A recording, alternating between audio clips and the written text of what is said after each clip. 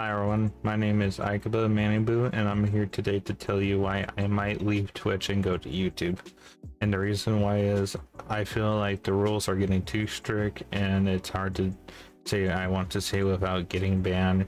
And to be honest, if I do choose to go to YouTube and do this choice, it will take time to get everything up there, but we will see if it works and if I do leave Twitch the grind will be a lot, but we will get there shortly but slowly. But I hope you guys got what I said. I've been doing these retakes too much. It really hurts my brain. Love you all.